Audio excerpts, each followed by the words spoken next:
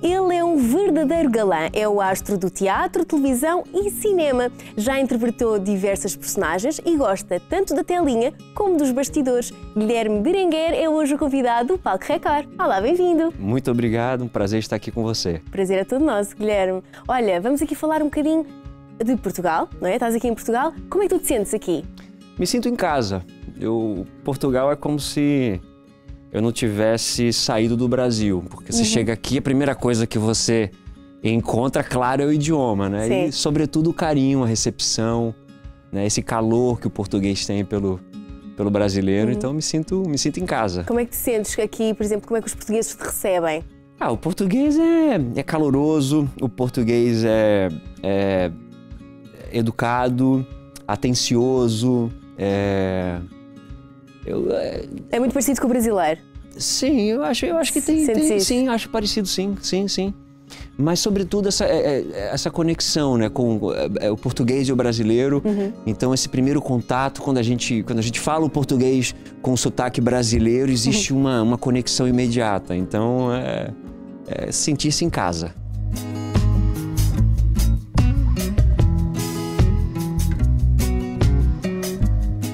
Hoje em dia, nos papéis que fazes, não é? nas personagens que interpretas, o que é que tu ainda trazes desse menino de 19 anos ou ainda mais novo? Eu acho que assim, do, o, o, os personagens, é, eles. É, eu acho que respeito, né? Eu acho que consideração pelo próximo.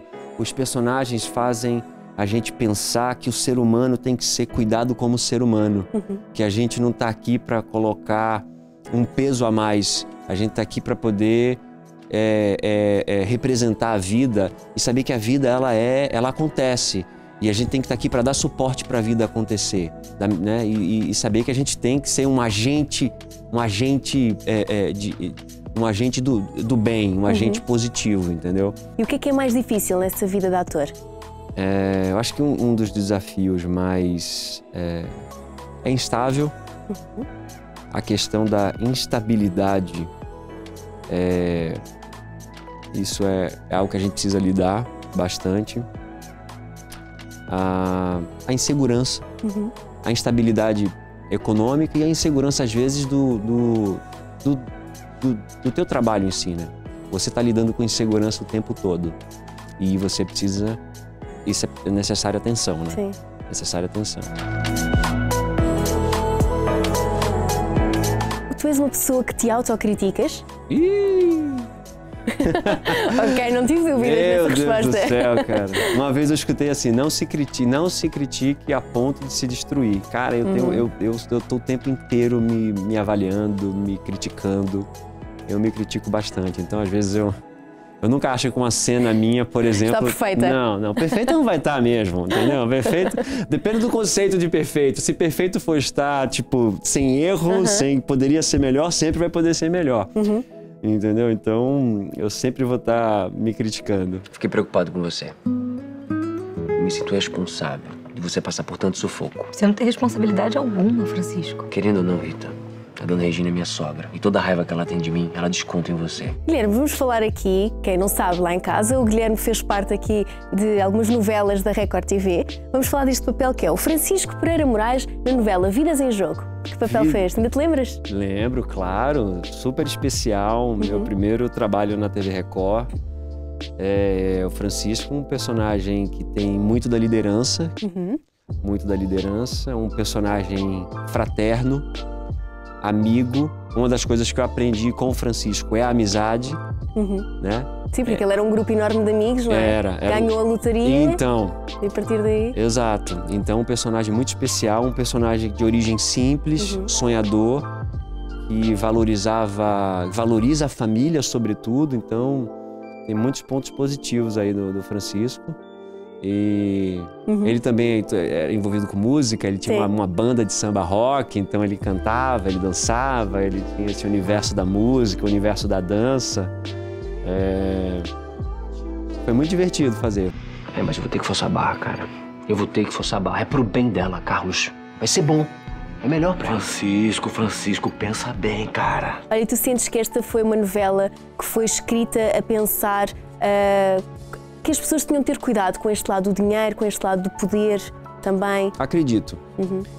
Porque é, a novela aborda muito bem o cenário da amizade, onde o que une as pessoas são valores humanos, valores que enaltecem né, a, a, a, a condição do ser humano, e você depois vê um outro cenário onde existe o, o poder que o dinheiro traz e o dinheiro em si, né? O que, que o dinheiro pode trazer para a vida das pessoas.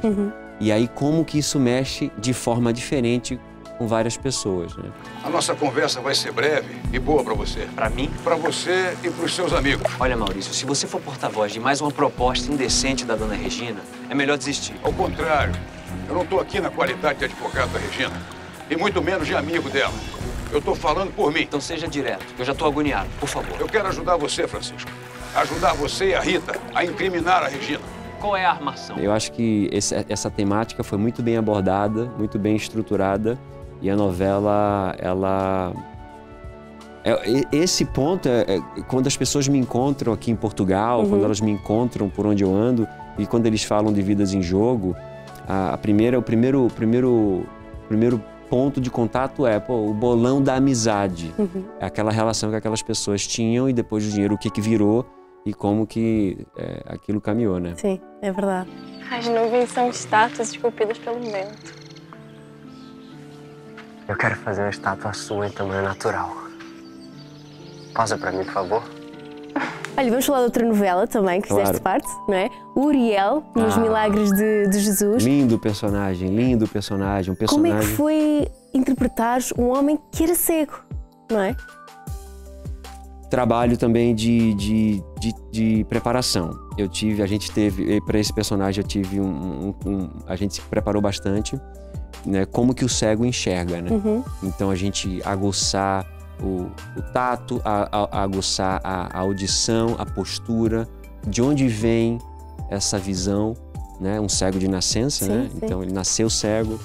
Então foi uma experiência muito, muito especial, muito especial porque você fala de uma limitação física que na verdade não te limita de, de viver teus sonhos, Sim. de você ir em busca dos teus ideais, de você ter coragem. Uriel tem muita coragem, né? Muita fé para alcançar seus objetivos. Então foi um personagem brilhante, muito especial. Eu cuidarei de você e você vai cuidar de mim. Eu preciso ir pra Jerusalém em busca da minha futura esposa, a Noemi. Para isso, Jaim, eu preciso de um companheiro.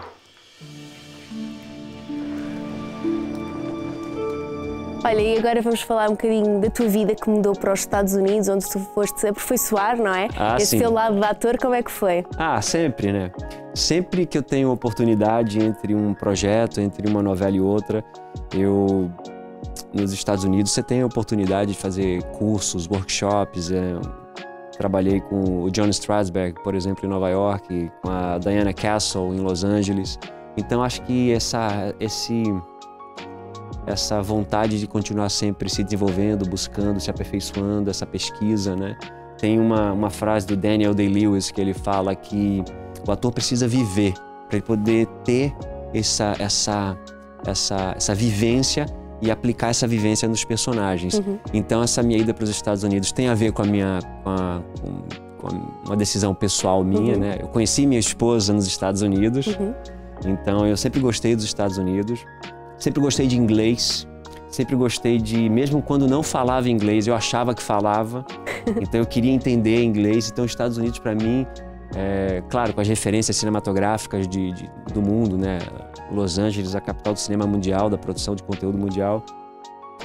A gente, eu sou fascinado, né? Então, eu, eu sabia falar inglês, eu vou aproveitar o inglês que eu Claro. sei falar para poder adquirir mais conhecimento, né? Uhum. Guilherme, olha, gostei muito de conhecer, gostei muito da nossa entrevista. Foi um prazer ter-te aqui e até à próxima. Igualmente. Aproveita Portugal. Ah, vou aproveitar. Igualmente, o prazer foi todo meu. Um grande beijo para você. Obrigado por me ter aqui. Um grande beijo aqui a Portugal, a todo mundo.